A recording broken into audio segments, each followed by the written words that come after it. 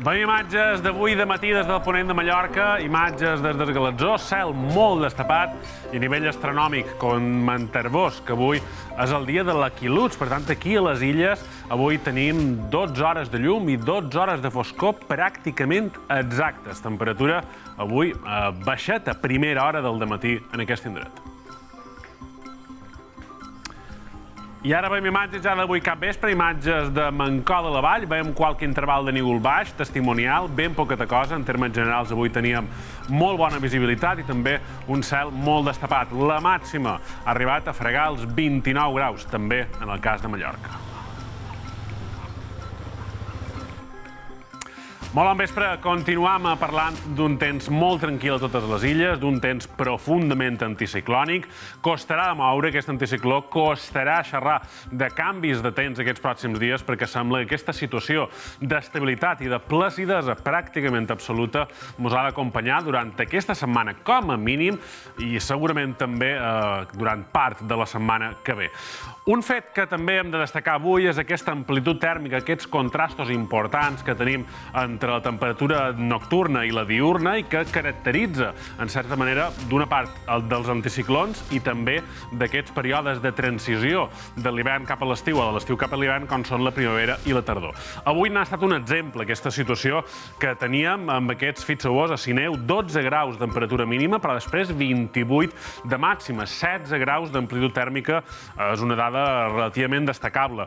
També, per exemple, a Vilafranca passàvem d'aquests 14 eh, a 29, o igualment, en el cas de, de Ciutadella, teníem eh, la temperatura mínima per davall dels 15 graus, la qual cosa era una temperatura fresqueta en aquest indret, i també en el cas de l'interior d'Eivissa baixàvem d'aquests 15 graus, també en el cas de, de Vila teníem 17 de mínima i 28 de màxima. Uns registres tant mínims com màxims que segurament canviaran poquet aquestes pròximes hores, però anunciam a partir de mitjan setmana, a partir de dijous sobretot, una temperatura màxima que pot eh, pujar una miqueta i situar-se ja localment per damunt dels 30 graus.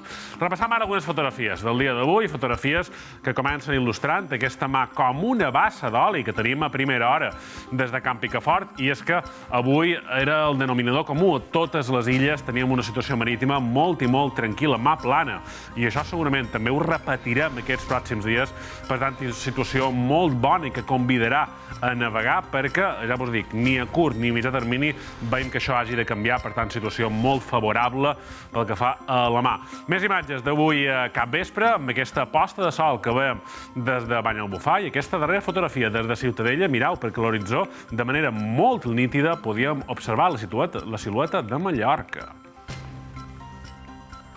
Veiem ara les imatges del Metesat, perquè avui no tindran gaire història, tindrem un cel molt destapat, pràcticament tot Europa Occidental, i com ja vos comentava ahir, atenció a les plogudes que puguem tenir a Grècia aquestes pròximes hores, perquè alguns models d'alta resolució indiquen que en només 24 hores se podrien arribar a acumular 400 litres per metre quadrat a les bandes més afectades per la borrasca Daniel de fa un parell de setmanes. Per tant, molta precaució el que passi a Grècia, perquè nosaltres aquí, la Mediterrània Occidental i a bona part del continent europeu mantindrem una situació molt tranquil·la i amb absència de precipitacions.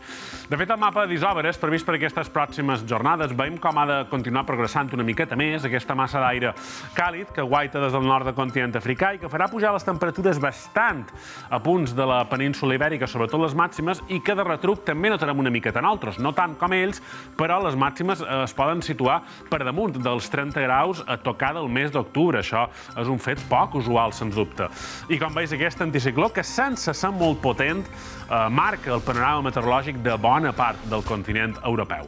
I parlam de temperatures, perquè si bé vos comentava que de les màximes, aquestes pròximes jornades, poden pujar les mínimes, segurament s'han de quedar bastant eh, frenades. De fet, ho veiem en el mapa del model Harmony que tenim eh, previst per aquestes pròximes eh, hores, aquesta pròxima matinada, aquí ho teniu, com a punts d'interior, totes les illes, la temperatura ha de baixar de manera clara. La serra de tramuntana. De fet, aquesta passada nit a Sant Torrella eh, s'ha registrat la temperatura mínima més baixa en un mes de setembre d'aquests darrers cinc anys. Per tant, eh, això dona fe d'aquesta situació de contrast tèrmic per mort d'aquesta subsidència anticiclònica que tenim aquests dies. Com veus, a primera hora del matí, temperatures clarament en alguns indrets per davall dels 15 graus, sobretot en el cas de Mallorca, i després, durant el dia, els colors canvien bastant perquè la temperatura ha de pujar. A hores centrals del dia tindrem registres que poden tornar a situar-se al voltant dels 28-29 a l'espera d'aquesta pujadeta de temperatura que poden tenir ja la segona meitat de la setmana. Tot plegat, la previsió del mapa de símbols per demà, les clares, contundent. Tornarem a tenir un cel pràcticament destapat a totes les illes, qualque interval de nígol baix, qualque boirina que poden tenir aquests, uh, aquests dies a primeres hores del matí, però en termes generals cel molt blau i també mantenint aquesta bona visibilitat que hem vist a les fotografies. Vent molt fluix, de direcció variable, i això ens ha de continuar garantint una situació marítima molt tranquil·la a totes les illes, amb temperatures, com hem comentat, sense grans canvis. Dijous mantindrem aquesta mateixa situació. Dijous per aventura podem veure qualque interval de nígol prim més, poqueta cosa, um, comandarà de manera molt contundent el sol a totes les illes. Temperatures o sense canvis o qualque grau més altes les màximes, amb un vent que continuaria pràcticament inexistent, bufant molt fluix de direcció variable, amb la mà, eh, com han comentat també, moltes àrees, de mà plana.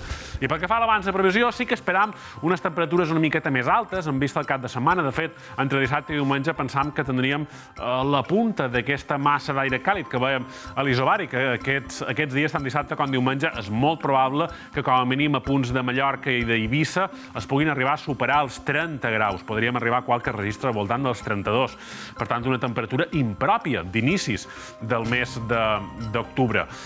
Uh, com veus, cel molt destapat en termes generals, per tant, donam continuïtat en aquesta situació clarament anticiclònica que de moment mos vol acompanyar com a mínim fins ben entrada la setmana que ve. Nosaltres de moment mos acomiadam aquí. Demà tornem. Que passeu una molt bona nit.